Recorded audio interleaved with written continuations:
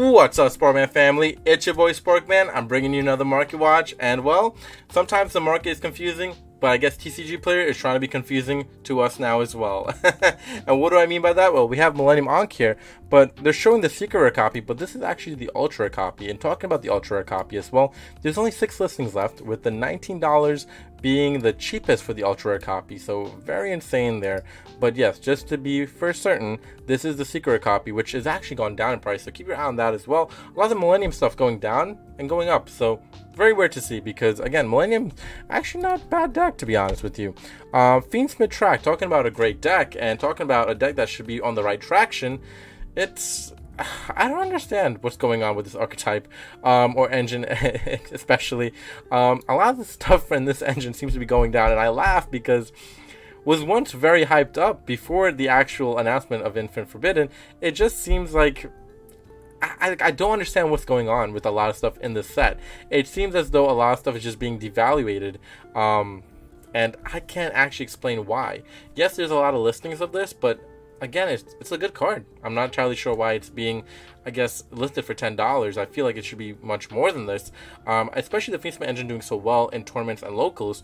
Uh, we see Fiendsmith Engraver at ninety nine dollars still, not you know above the hundred price tag yet. But I'm hoping that to see those cards start to increase in price because I think it's worth the value of it increasing. Um, now, for budget players that are trying to pick up this deck for you know budget and try to play the deck at your locals and uh, tournaments, I think right now is the best time to start picking these copies up because uh, they've only gone down, and I'm not entirely sure how further down you want them to go because I'm not entirely sure if they're going to go down any further. Um, can't really trust the market sometimes because sometimes they just bounce back up. Look at Mulcharmy Purulia was once at thirty dollars only a few days ago, bounced back up to sixty. So you know we'll never know what, what happens in this market sometimes, but just be aware of that good cards tend to increase in price, and these engines that are looking really good some of the cards are being very devaluated in those engines, so um, pick them up while you can. Um, I'll just say that to leave that with you in that thought process um, as well. Um, wakes from a Millennium. Again, another Millennium card was at two dollars a few days ago, now at five dollars and increasing in price, closer to six. So if you do want to play Millennium, be aware some of the stuff is starting to go up while other stuff is going down. So pick them up while you can. Legacy of Destruction. These mini boxes, very hot commodity, right? The pull rates were really high up there. $17 at Walmart. If you're trying to pick them up other places, now we're seeing $38, $39 for them. And, uh, well, there's only four listings left here on TCG Player, so they are very exclusive, I will say that. Very hard to get them, so if you do want them, pick them up while you can. And the pull rates were very high in these. However, people that are picking up the Infinite Forbidden boxes, which, again, being sold $45 on eBay, uh, the pull rates don't seem to be the same in the Infinite Forbidden boxes. I've seen a lot of YouTube videos, and it just seems to be all there. Um, now, again, maybe you're picking up the wrong mini boxes, you're not getting great, and the, the unluckiness could be there that I'm seeing in some of the videos, but I don't know. It just seems like the pull rate just seems to be pretty terrible, to be honest, with these mini boxes. Um, uh, I think they probably de-escalated the pull rates in this one, but uh, we'll see what happens. They're still exclusive. It's still really cool. You're getting a token card, so I think people are still uh, mesmerized by that as well. So keep all that in mind. If you do want one, you're gonna have to pay an arm and leg if you're trying to get it from either eBay, Mercari, TCG player. Um, but you know, your best bet is to keep checking Walmart to see if you can get one for 17. Um, the next card I want to look at is Power Filter. Power Filter going up.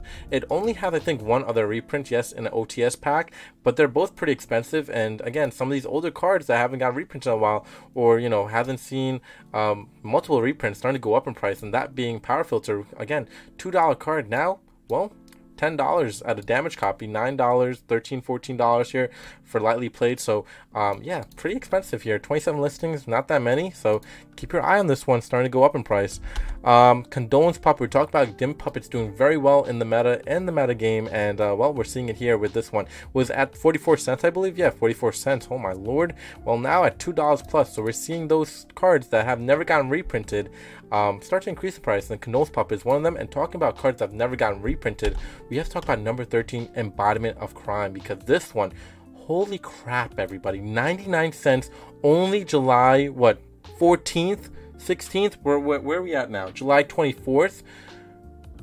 13 14 dollars? Holy crap now. Like this is insane. That that's a huge pick me up for this card.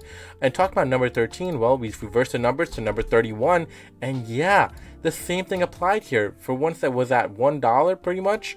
No, 15 bucks now for even a lightly played copy. So prices have increased galore for cards that have never gotten a reprint, especially cards that are seeing play now. So, you know, be aware of these things. When the cards don't get a reprint and they do see play, they tend to increase in price. So, if you are trying to get this copy or you've, you know, you open packs back in the past, especially premium gold, start looking through your buckets of cards that you, you probably have in storage because you might have these copies for um well, that could have been thrown away in those storage boxes. now expensive. Fire Sorcerer card again, never got its reprint. Last reprint was well, never. it's only been in Labyrinth of Nightmare. Um, so uh, definitely expensive. They're going up in price, and uh, a card that's very much used in Mimighouls is uh, well, it's seeing its way up. No, no surprise there. Mimighoul being a good deck and a card that's never been reprinted. Are you surprised? Um, the black goat laughs. Well, making me laugh. I'm not gonna lie you about that one because, uh, well, thirteen dollars for this card? No, not anymore. We talk about cards just going up price. Well, black goat laughs is going up in price as well, and I continue to see this one go up in price every single day. So uh, keep that in mind. That this card, you know, I don't think it's going to be stopping. I think it's going to be circling around the thirty dollar price point at some point. So. Um, you know, just saying, I would pick it up while you can if you want this card now. Um, Nightmare Throne. Well, Yubel did pretty decent at the, you know, the national event. Um, nine decks topping in the top 64, as we talked about past couple days.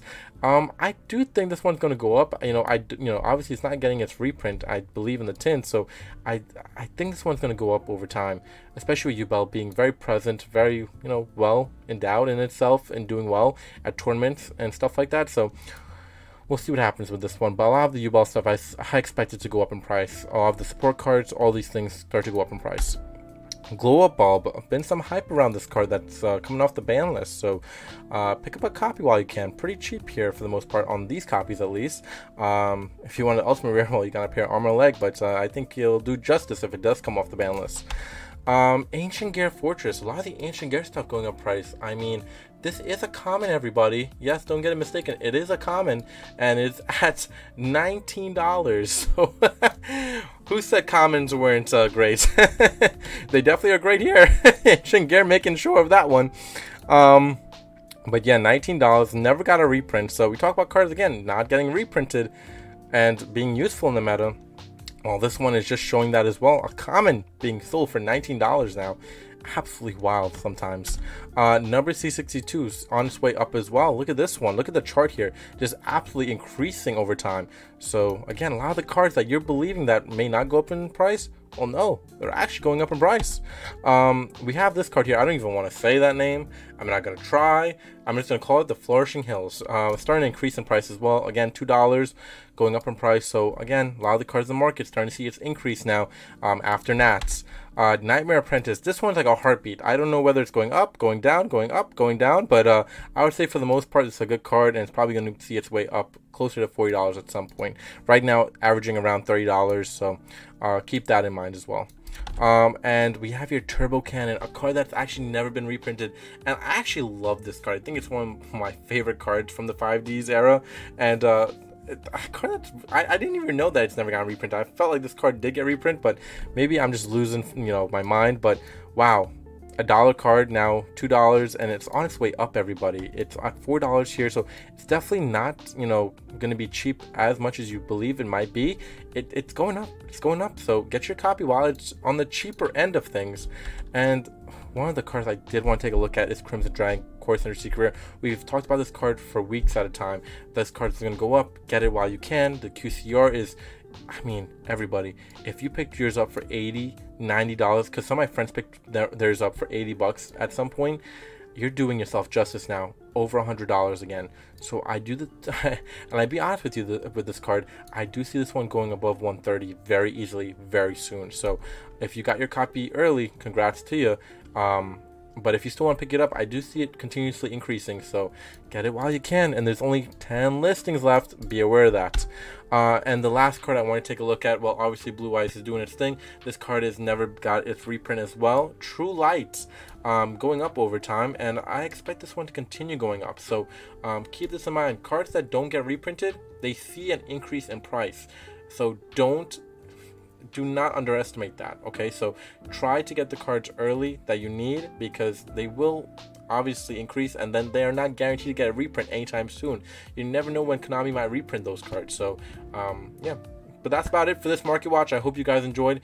Please subscribe and comment. And from yours truly, Sparkman. Catch you next one. Peace out, YouTube.